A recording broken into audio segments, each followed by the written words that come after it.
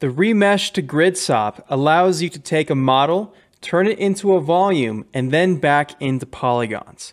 There's many reasons why you might want to do that. One reason is to combine a bunch of pieces together to make one model. Another reason is to retopologize something.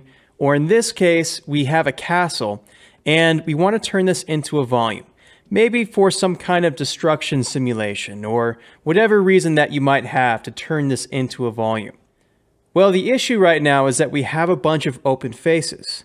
And if you know anything about volumes, open faces are not good because it doesn't allow you to create a volume out of that model.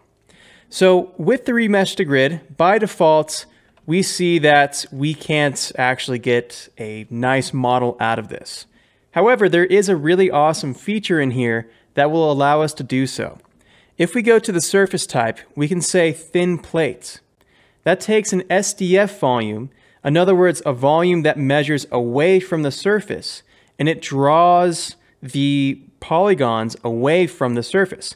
So in this case, it allows us to get away with a thickening of a 2D mesh. And as a result, now we have the model.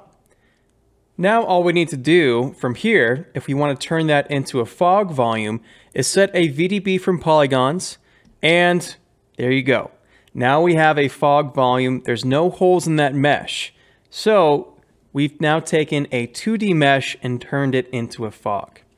There are plenty of uses for this remesh to grid SOP, and this is just one of them.